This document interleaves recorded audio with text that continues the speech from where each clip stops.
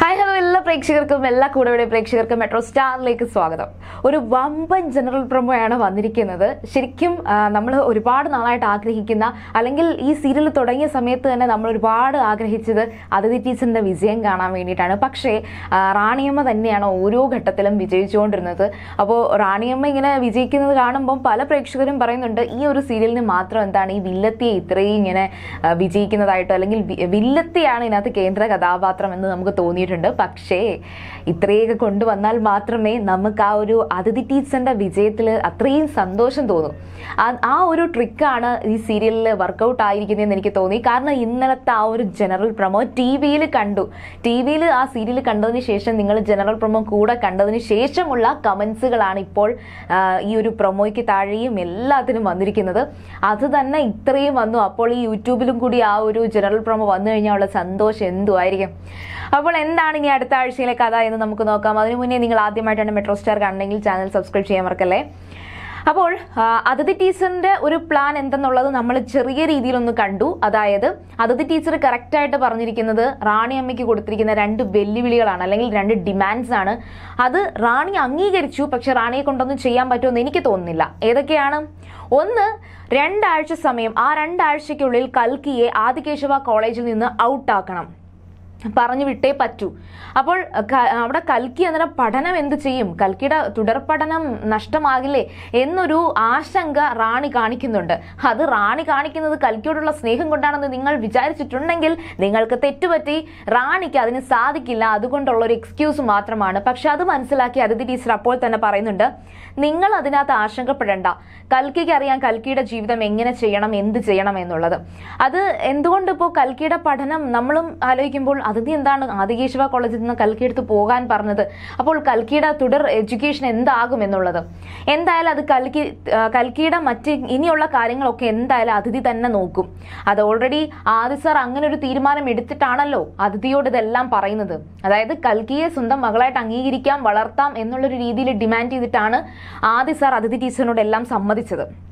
അതുകൊണ്ട് അക്കാര്യത്തിലൊന്നും അതിഥി ടീച്ചറിനെ കുറ്റം പറയാൻ പറ്റില്ല. ഇനി അടുത്ത ഒരു സംഭവം എന്ന് പറയുന്നത് കൽക്കിയോടുൾപ്പെടെ ഋഷി ആദി എല്ലാവരോടും കൽക്കിയുടെ യഥാർത്ഥ അമ്മ താനല്ല എന്നും അതുപോലെ തന്നെ ഇങ്ങനെ ഏത് സാഹചര്യത്തിലാണ് കൽക്കിയുടെ അമ്മയാകേണ്ടി വന്നത് എന്നും റാണി തന്നെ പറയണം. അപ്പോൾ ഈ കാര്യം പക്ഷേ ശരിക്കും പറഞ്ഞാൽ അവിടെ റാണി പെട്ടുപോയതാണ്. കാരണം റാണിക്കും അറിയില്ലായിരുന്നല്ലോ. റാണി ആ ഹോസ്പിറ്റലിൽ വെച്ചിട്ട് ആ നന്ദിത എന്ന് പറഞ്ഞ സ്ത്രീയെ കണ്ടതോടുകൂടിയാണ് അതിഥി ടീച്ചറിന്റെ മകളല്ല കൽക്കി എന്നുള്ള സത്യം റാണിയും തിരിച്ചറിയുന്നത്. അപ്പോൾ റാണിക്ക് അവിടെ അബദ്ധം പറ്റിയതാണ്.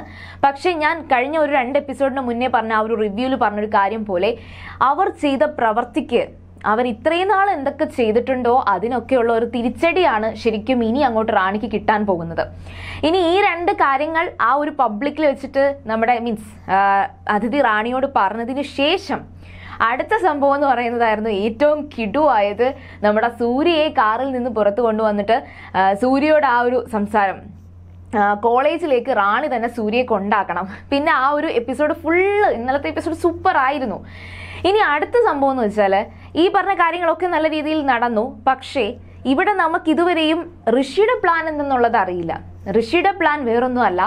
അതിഥി ടീച്ചർ ആദികേശവ കോളേജിലേക്ക് തിരിച്ചു വരണം. ആദികേശവ കോളേജിന്റെയും മാളിയേക്കൽ കുടുംബത്തിന്റെയും ഭാഗമായിട്ട് ഇനി അതിഥി ടീച്ചർ ഉണ്ടാകണം.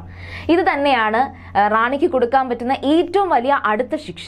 അത് പക്ഷേ ആ ശിക്ഷയുടെ സ്പോൺസർ എന്ന് പറയുന്നത് ഋഷി സാറും ആദി സാറുമാണ് അത് എങ്ങനെയാണ് ഇനി അത് ആദിത്യ ടീച്ചർ സമ്മതിക്കുന്നതെന്നൊക്കെ ഉള്ളത് നമുക്കിനി ഡീറ്റെയിൽഡ് ആയിട്ട് പിന്നീട് ഒരു എപ്പിസോഡിൽ പറയാം. കാരണം എന്ന് വെച്ചാൽ അതിനകത്ത് വളരെ ഈസി ആയിട്ട് അതിഥി ടീച്ചർ സമ്മതിക്കാത്തതിന്റെ ഏറ്റവും വലിയ റീസൺ അത് തന്നെയാണ്. റാണിയുടെ ആ കൂടെ പോയി നിൽക്കുന്നതൊന്നും അതിഥി ടീച്ചർക്ക് സങ്കല്പിക്കാൻ പറ്റില്ല. കാരണം റാണി കാണാതിരിക്കാമെങ്കിൽ അത്രയും നല്ലത്.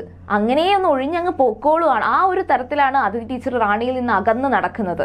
പക്ഷേ എന്നെ വന്ന് തല്ലിയിട്ട് പോയെന്ന് പറഞ്ഞ് റാണി പിന്നാലെ പോയാൽ പിന്നെ അതിഥി ടീച്ചർക്ക് തല്ലാതിരിക്കാൻ പറ്റുമോ? അതാണ് ഇന്നത്തെ ഇനിയത്തെ എപ്പിസോഡ് എന്ന് പറയുന്നത്. ഇനിയുള്ള എപ്പിസോഡുകളിലെല്ലാം റാണി അതിഥി അതുപോലെ തന്നെ സൂര്യ ഇവർ മൂന്ന് പേരുടെ ഒരു കോംബോ ഉണ്ട്.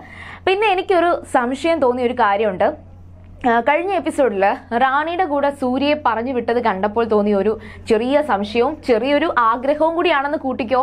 നിങ്ങൾക്ക് തോന്നുന്നുണ്ടോ? നമ്മുടെ ആദികേശവൻ സാറിന് ആദികേശവൻ സാറ് അതിഥി ടീച്ചറോട് റാണിക്കൊരു കുഞ്ഞ് ജനിച്ച കാര്യം അത് പറഞ്ഞിട്ടുള്ളതായിട്ട് നിങ്ങൾക്ക് തോന്നുന്നുണ്ടോ? അതുപോലെ തന്നെ അങ്ങനെ ഉണ്ടെങ്കിൽ നന്നായിരുന്നു എന്ന് എനിക്ക് തോന്നി. അതുകൊണ്ടാണ് എന്റെ ഒരു ആഗ്രഹം എന്ന് ഞാൻ പറഞ്ഞില്ലേ. അതുപോലെ തന്നെ എന്റെ കുട്ടി എന്റെ കുട്ടി എന്നെല്ലാം എല്ലായ്പ്പോഴും അതിഥി ടീച്ചർ സൂര്യയെ അഭിസംബോധന ചെയ്യാറുണ്ട്. സൂര്യയെ സ്വന്തം മകളെ പോലെയാണ് അതിഥി ടീച്ചർ വളർത്തിയതെന്നും അല്ലെങ്കിൽ മീൻസ് ഇപ്പോൾ നോക്കുന്നതെന്നും ഒക്കെ നമുക്കറിയാം. അങ്ങനെയാണെങ്കിൽ ഒരു ചെറിയ സംശയം റാണിയുടെ മകളാണ് സൂര്യ എന്ന് അതിഥി ടീച്ചർക്ക് അറിയുമോ അങ്ങനെ അറിഞ്ഞു എങ്കിൽ അത് നല്ലതല്ലേ? അതോ നിങ്ങളുടെ അഭിപ്രായം എന്താണ്? പിന്നെ ഒരുപാട് പേർക്ക് ഇപ്പോഴും റാണിയുടെ മകൾ സൂര്യ എന്നുള്ളൊരു ഇതിൽ വന്നപ്പോൾ തന്നെ പലർക്കും ഇഷ്ടമല്ല എന്ന് പറയുന്നുണ്ട്. അതിന്റെ കാര്യമില്ലല്ലോ എന്തോ എനിക്കറിയില്ല. ഓരോരുത്തരുടെയും ടേസ്റ്റ് വ്യത്യസ്ത വ്യത്യസ്തമായിരിക്കും. പക്ഷെ എനിക്ക് ഇഷ്ടപ്പെട്ടു എനിക്ക് റാണീനെയും സൂര്യനെയും ഒരുപോലെ ഇഷ്ടമാണ്. കാരണം എന്ന് വെച്ചാൽ ഇവർ രണ്ടൊരു ഒരു നല്ല ശത്രു ഉണ്ടെങ്കിൽ മാത്രമേ ഒരു നല്ല നായിക നായകൻ കഥാപാത്രങ്ങൾക്ക് മുന്നോട്ട് പോകാൻ പറ്റൂ. ഈ ശത്രുപക്ഷം ദുർബലമാണെങ്കിൽ പിന്നെന്തുവാ? ഒരു വൺ മാൻ ഷോ പോലെ എല്ലായ്പ്പോഴും ഒരു നടനാണെങ്കിലും നടിയാണെങ്കിലും ഇങ്ങനെ ജയിച്ചുകൊണ്ടിരിക്കുന്നത് കാണാം. പക്ഷെ നല്ലൊരു ശത്രുവിന്റെ കൂടെ ഫൈറ്റ് ചെയ്ത് ജയിക്കുമ്പോഴേ ഒരു ഒരു സുഖമുള്ളൂ. അതിന് നമ്മുടെ കൂടെവിടയിൽ റാണി അമ്മ സൂപ്പറാണ് അപ്പോൾ ഓക്കെ ഇനി ഞാൻ എപ്പിസോഡിന്റെ ഡീറ്റെയിൽസ് പറഞ്ഞില്ല. ഓൾറെഡി തന്നെ വീഡിയോ കുറച്ച് വലുതാകുന്നുണ്ട്. അപ്പോൾ നാളെ എന്തായാലും കാത്തിരിക്കുക. ഫുൾ ഡീറ്റെയിൽസുമായിട്ട് ഞാൻ എത്തുന്നതായിരിക്കും. ഇന്നത്തെ വീഡിയോ ഇഷ്ടമായെങ്കിൽ ഉറപ്പായിട്ടും ലൈക്ക് ചെയ്യുക ഷെയർ ചെയ്യുക നിങ്ങളുടെ അഭിപ്രായങ്ങൾ കമന്റ് ചെയ്യുക.